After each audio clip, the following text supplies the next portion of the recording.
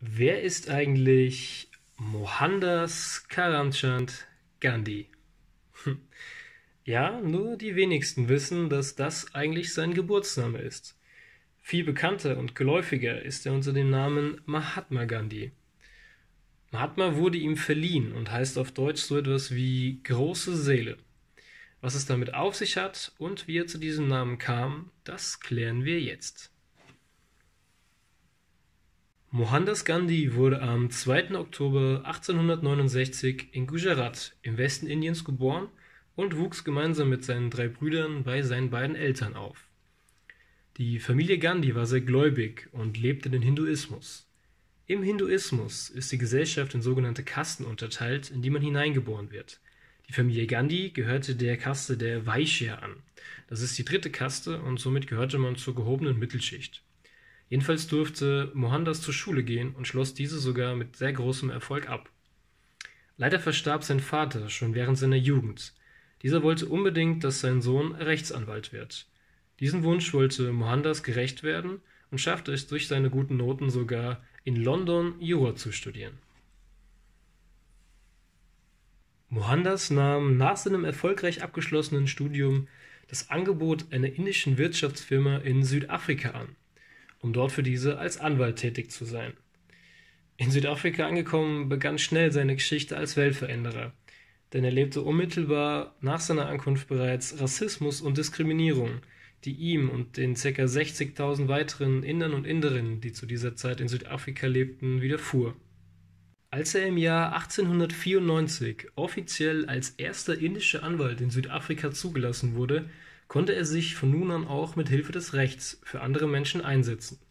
Im Jahr 1904 gründete er die Zeitung Indian Option, die auf Englisch und verschiedenen indischen Sprachen erschien. Mit dieser Hilfe versuchte er seine Meinung zu verbreiten und setzte sich weiterhin für die Gleichberechtigung von Inderinnen und Indern in Südafrika ein. Durch seine Überzeugungen, die vor allem friedlicher Natur waren, gelangte er nicht nur in der indischen Bevölkerung Südafrikas zu sehr großem Ansehen. 1914 schließlich kehrte Mohandas Gandhi nach Indien zurück. Auch in seiner Heimat erfuhr man von seinem Einsatz für die Gleichberechtigung seiner Landsleute in Südafrika, weshalb man ihn mit dem Namen begrüßte, unter dem er den meisten bekannt ist: Mahatma, eben die große Seele. Zurück in seiner Heimat zeigte sich jedoch leider ein für ihn gewohntes Bild. Die indische Bevölkerung wurde von den Briten, den Kolonialherrschern Indiens zu dieser Zeit, unterdrückt und durch diskriminierende Gesetze eingeschränkt. Somit erfuhren er und seine Landsleute auch in seiner Heimat weiterhin Rassismus und Diskriminierung. Gandhi rief zu einem Boykott auf. Ein Boykott ist ein gewaltloser Widerstand. Alle Inderinnen und Inder sollten sich aus dem öffentlichen Dienst zurückziehen, damit dieser zusammenbreche. Lehrer aus der Schule, Anwälte und Richter aus den Gerichten, jeder sollte seine Arbeit niederlegen. Mahatma Gandhi war überzeugter Pazifist. Er war also gegen jede Form der Gewalt. Kleine Info am Rande: Wer beim Wort Pazifist an den Pazifischen Ozean denkt, der liegt da gar nicht so verkehrt. Übersetzt heißt das Wort nämlich friedlich. Und bei der ersten Befahrung von europäischen Seeleuten wurde der Ozean als besonders friedlich empfunden, was ihm den Namen Pazifischer Ozean gab. Zurück zu Gandhi. Er war gegen jegliche Art von Gewalt. Es war ihm also sehr wichtig, dass die indische Bevölkerung ihren Protest gegen die britischen Besatzer ebenfalls friedlich austrug. Sein Anliegen wurde von den Indern und Inderinnen verstanden. Die friedliche Widerstandsbewegung kam letztendlich den Namen Satyagraha. Der bekannteste und auch wirksamste Aufmarsch der Satyagraha war der sogenannte Salzmarsch im Jahr 1930.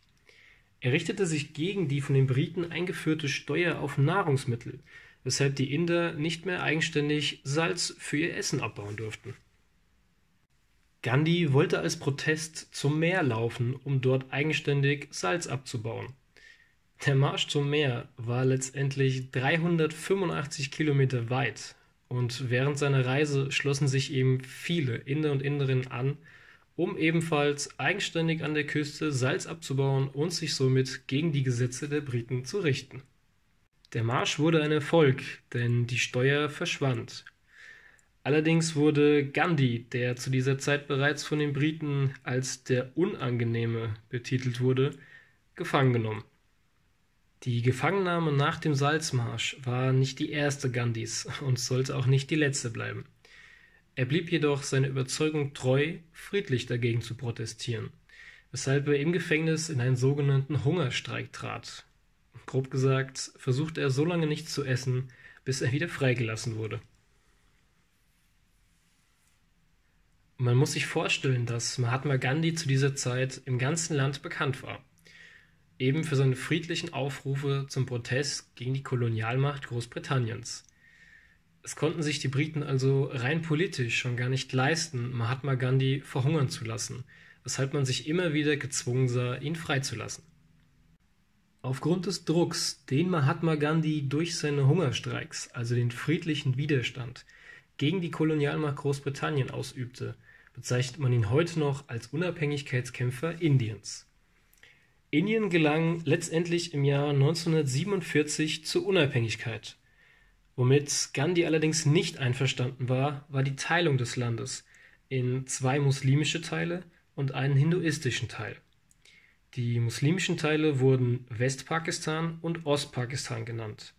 Heute heißt Westpakistan einfach nur Pakistan und Ostpakistan trägt heute den Namen Bangladesch. Da nun die Muslime im Land in die beiden pakistanischen Teile und umgekehrt die Hinduisten in den indischen Teil flohen, führte die Teilung des ganzen Landes zu bürgerkriegsähnlichen Zuständen, was wiederum dazu führte, dass viele Menschen ihr Leben verloren. Gandhi versuchte ein letztes Mal, sich mit Hilfe eines Hungerstreiks für eine friedliche Abwicklung der Teilung des Landes einzusetzen und beide Seiten dazu zu bewegen, sich friedlich einander zu begegnen.